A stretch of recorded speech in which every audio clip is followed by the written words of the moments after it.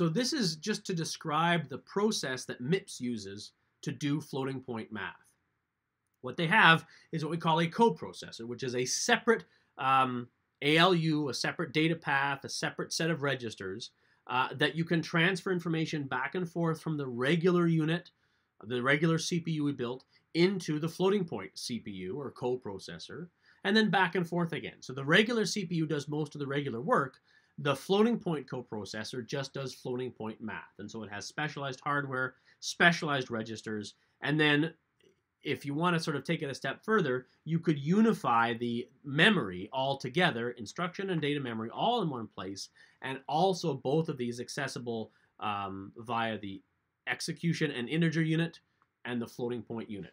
This is starting to get into higher level of architecture that you'll learn in 301, uh, but basically you have specialized slices of hardware for specific tasks now. One for executing like branches and jumps and loads and stores and ALU operations that are an integer type, and then a separate one for floating point values.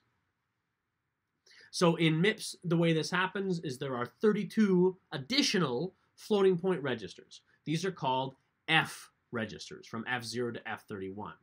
And because floating point numbers can rep be represented as single precision or double precision, these registers are allocated in pairs and you can either look at each individual register separately, or you can look at the pairs of double precision registers from an even to the subsequent odd. So F0 and 1 are a pair for double precision, F2 and 3 are a pair, etc. Uh, you also have instructions that allow you to move information back and forth from one unit to the next unit. Uh, and the important thing is that that doesn't actually transfer, this doesn't change the value right? A 32-bit integer is just presented in 32 bits to the floating point unit, which will then interpret it as if it were a floating point number. So you have to be very careful uh, understanding the type of data that you're dealing with. If you load a number from memory, which is a, supposed to be a floating point number, and you treat it like an integer, it's going to look weird, and vice versa. So this is a really important to understand, that we're not actually doing a conversion, we're just moving stuff back and forth. Uh, most of the floating point operations in MIPS are analogous to integer operations, and you specify them by saying single precision or double precision. So if we have an add, we would have add or R-type add, classic R-type add into destination register two source registers. A floating point add at single precision is add.s. and then that's into a floating point destination, a floating point source, and a floating point source. And then a floating point double precision add looks exactly the same, but FD, FS, and FT have to be even so that they can use the even register and the subsequent odd register. So that's what the .s and the .d um, instructions in MIPS are all about. And these are also on your sheet, just in case you want to play around with them. there are two new, um, where's my sheet here? There are two new uh, instruction formats, which probably you've seen on your sheet, um, which look very similar to regular integer instruction formats. The important thing to recognize is that in floating point instruction format, you don't have the shift amount. You have to extend. So again, same as before, the opcode has to be the same.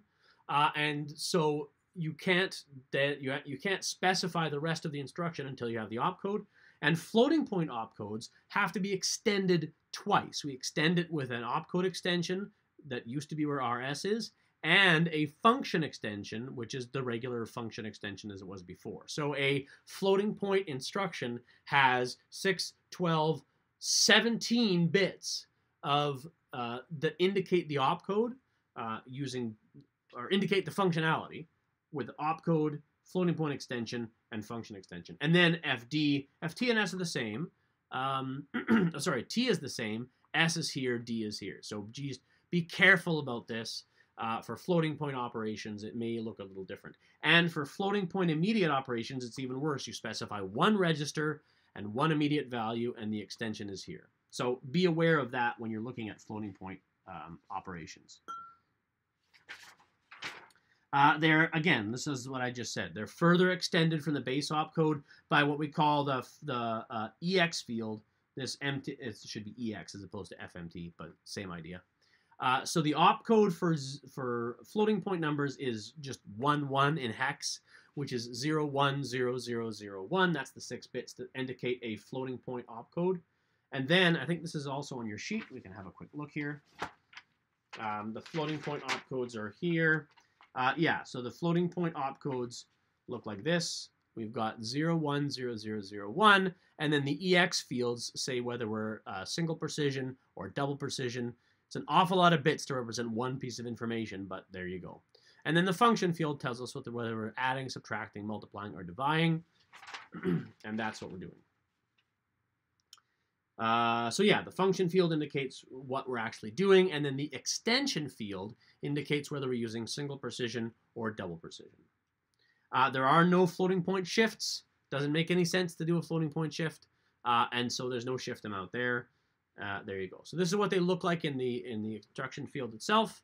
As an example, uh, add.s single precision add uh, into register F0 uh, the value that's in register F8 and the value that's in register F10. And it looks like an ALU operation, and it acts like an ALU operation, but it operates on the coprocessor rather than the regular processor. So the ALU doesn't do anything. The coprocessor is instructed to do a thing, and then the result is stored in a coprocessor register.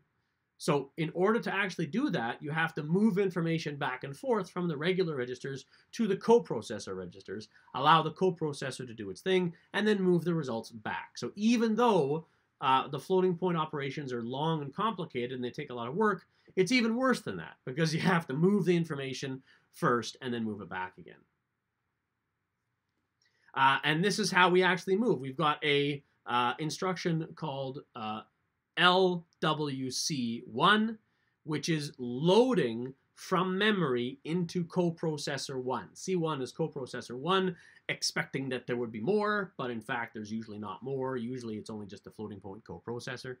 So LWC1 is a load word into a coprocessor register, and you specify a floating point register, RF, but the address is still in the regular register, RS.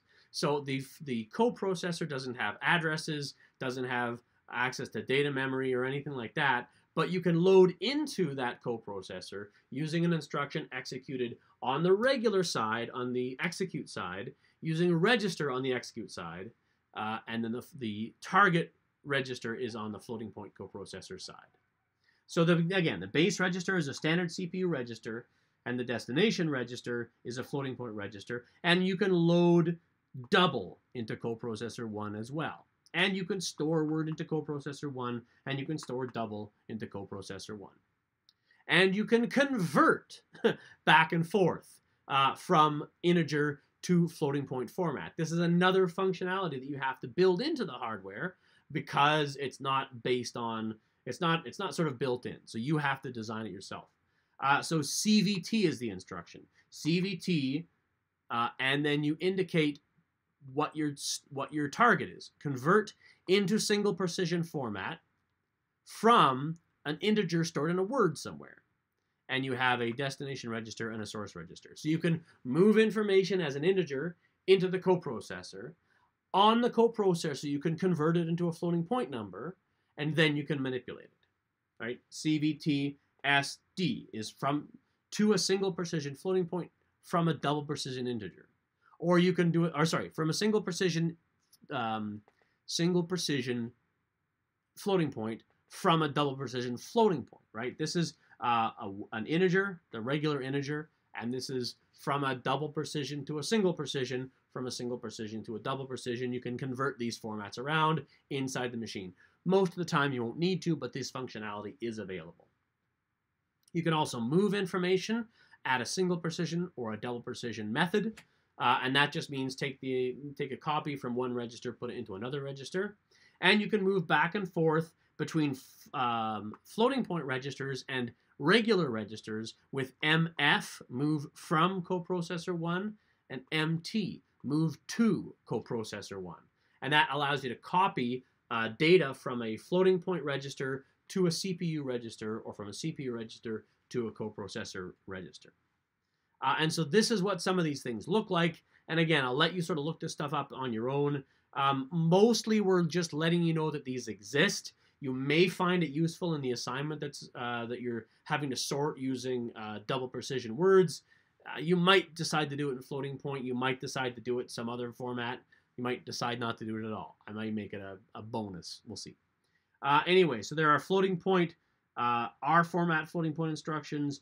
Uh, there are I format floating point instructions, and you can see the um, the the extensions that are stored here, the opcode extensions that are stored here, uh, and like that. So this is the um, yeah, this is the move from coprocessor one.